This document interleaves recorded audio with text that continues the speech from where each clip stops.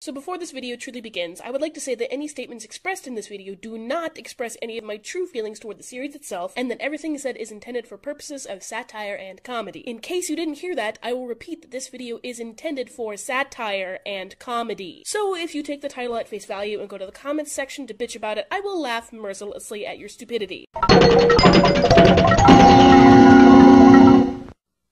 You know what? All of you better duck. Because I'm about to turn left, and I don't want to smack you with my dick. Oh, look at you, Vegeta. You're really going to fight me.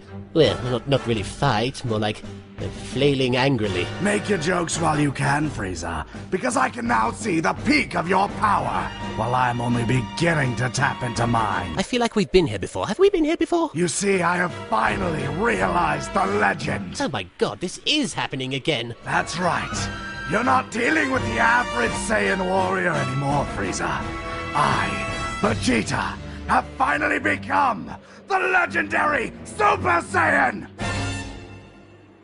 Now that's fucking stupid. Well, yeah, I mean, I, I suppose that's right. No, Jordan, not again! The Michael Rosen rant.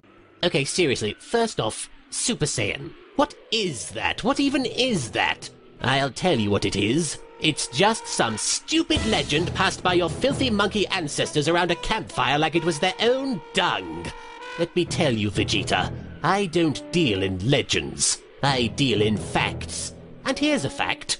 By the end of this, you are going to be crying. Like a little bitch. Bitch, you just jealous of my Super Saiyan swagger. Oh, for f***'s sake.